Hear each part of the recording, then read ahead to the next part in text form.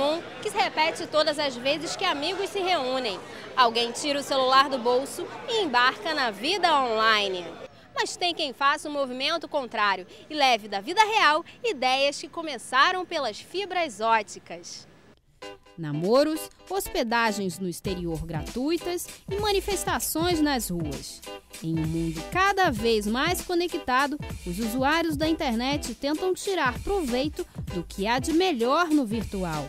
Lançada em 2004, o Orkut foi uma das primeiras redes sociais. Dez anos se passaram até que, em setembro de 2014, foi desativado, mas deixou para Bruno e Raquel consequências reais de uma relação online. E entrei para conversar, para dar uma opinião de uma pessoa. E ela, por acaso, viu junto e tal e acabou me adicionando. Depois da gente se conhecer, né, tipo assim, firma essa coisa que sim, nós podemos fazer amizades, nós podemos é, conhecer pessoas, é, ter relações e sim, quem sabe casar, né? Como a gente está hoje. Também tem aqueles que procuram novas experiências em países distantes. E tudo começa depois de um clique no mouse. Por meio de um cadastro em uma página na internet, usuários de diversas partes do mundo decidem abrir as portas de casa para pessoas conhecidas via internet. Hoje eu gosto muito mais de hospedar, de receber pessoas na minha casa, do que mesmo de, de viajar então fiz uma turma grande de amigos. Algumas pessoas eu só hospedo, não, não tenho contato depois. Outras pessoas acabam virando amigos que a gente mantém. Outra, algumas vêm várias vezes, já recebi alguns amigos três, quatro vezes. Então, para mim, assim, hoje é uma é um prazer. Então, o Couchsurf, na verdade, mudou a minha vida, mudou a minha forma que eu comecei a ver as relações. Primeiro porque eu fiquei muito aberta para o mundo e de fato eu fiz muitos amigos. Essa pessoa, inclusive, que foi meu primeiro guest, ele é meu amigo até hoje. Ele faz traduções para mim quando eu preciso. A gente tem relação, relação de amizade até hoje. Ele está em Madrid hoje, mas a gente até hoje tem relação. E fiz vários amigos. Grande parte dos meus guests eu me comunico até hoje. E não só com as pessoas que eu recebi. O Couchsurfing em si é uma, é uma, é uma relação que eu tenho. São, é, um, é, um, é um mundo de relações que se abriu para mim. Ninguém cobra nada pela hospedagem. O que vale é a troca de experiências com outras culturas. Para mim, o objetivo do Couchsurf é essa coisa de, de compartilhar. A minha empresa eu fiz baseado nas minhas experiências com Couchsurf, é, é, eu, eu, fiz, eu participei de um documentário do Couchsurf e esse documentário me trouxe novas relações, me ajuda a mudar a realidade das pessoas, porque as pessoas começam, depois que vê esse documentário, começam a se abrir para novas relações, essa relação de confiança. E é uma relação de troca. E essa coisa de você também viajar, ficando hospedado na casa das pessoas, isso é uma coisa antiga. Não é uma coisa nova. Isso sempre foi assim. Em países, em países mais subdesenvolvidos, inclusive, é assim que as pessoas mais, mais viajam quando precisam de ir para outros países. Mas a nossa cultura foi perdendo um pouco isso. Quem não se surpreende com o fenômeno dos flash mobs? Essas aglomerações coreografadas formadas por desconhecidos são marcadas pela internet, mas ganham vida mesmo nos espaços públicos da cidade. O grande barato do flash mob é impressionar. E o que eu gosto de fazer é isso: reunir o maior número de pessoas e fazer uma coreografia muito simples que qualquer pessoa possa se divertir. Que foi o caso do flash mob do Papa.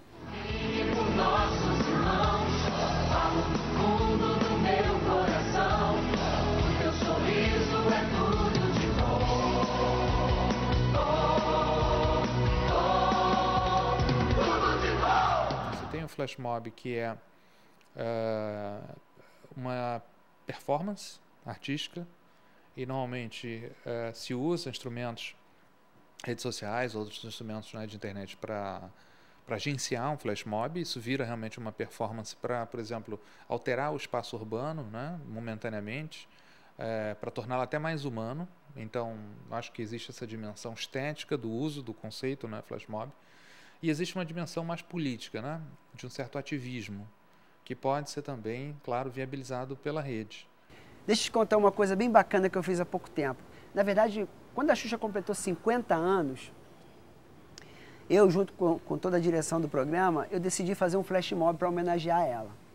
Só que a minha ideia era o seguinte: eu ia viajar, escolher cinco regiões, por exemplo, Curitiba, Salvador, São Paulo, Goiânia, Belém e Rio de Janeiro. Eu acho que foi quase umas 5 mil pessoas no Brasil inteiro. Então o Flash Mob começava no estúdio da Xuxa, aí eu cortava para São Paulo, cortava para Belém, cortava para Curitiba e aí a gente conseguiu fazer o maior Flash Mob dentro da televisão. Foi incrível, acho que foi um dos trabalhos mais bonitos com o Flash Mob que eu fiz.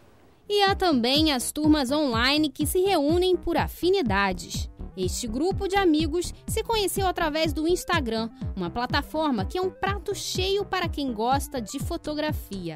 E não deu outra, logo passaram a se reunir no mundo real para fotografar as paisagens urbanas. Tem pessoas chamadoras, profissionais, é, de tudo quanto é tipo, e acaba se conhecendo em encontros, a gente faz desafios, ah, vamos tirar foto em algum lugar, e, e cada um tira, tem um ângulo diferente, às vezes um sabe mais do que o outro, ensina, sem essa coisa de competição. É, então acaba sendo muito amigo. Conheci ele pelo Instagram e comecei a usar minhas hashtags e tal, e comecei a ganhar destaques no grupo, minhas fotos começaram a ser publicadas lá também. E ver a foto também, olhares de outras pessoas. É uma novidade, eu, não conhe... eu não, nunca fiz amizade por, pela, pelas redes sociais, a minha, sempre, os meus contatos sempre eram pessoais. E aos poucos, com o próprio Rio Mais, né, isso foi crescendo e me deu vontade de conhecer as pessoas que estavam envolvidas nesse, nesse meio e foi muito bom, porque todo mundo fala sobre fotografia. A partir daí vem um chopp, vem, vem um almoço, enfim, né? coisas comuns de amigos se encontrando mesmo, mas sempre com um motivo central que é fotografar alguma coisa. E o Instagram foi uma forma interessante, né? que as pessoas começaram a a se organizar, né, fazer esses encontros e tudo isso, e sair, ir mais a campo, né, justamente para fotografar. Isso está sendo é bem interessante, que a gente acaba conhecendo um pouco mais do Rio de Janeiro. Foi natural essa, essa, essa convivência, sair do virtual para o, o pessoal foi muito natural e fui super tranquila. Em tempos de olhos atentos ao celular, estes personagens recriam o uso das redes sociais e dão ainda mais vida ao mundo marcado pelas relações via rede. Não classificaria como superficial, é, porque existem, sem dúvida, casos em que as pessoas envolvem laços bastante fortes através de mecanismos como esse, né? Pessoas que por acaso até se conhecem nesse espaço e que depois passam a se encontrar né, no espaço, digamos, offline. Existem vários casos assim. É, existem relações bastante fortes que cresceram amorosas, né? Inclusive, temos vários exemplos aí de sites redes sociais que são desenvolvidas é, especificamente para esse fim, né, de encontros amorosos.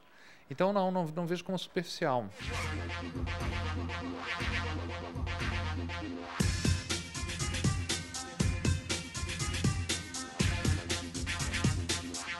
O campus fica por aqui. Confira a nossa programação através do Facebook e do Twitter. Até a próxima!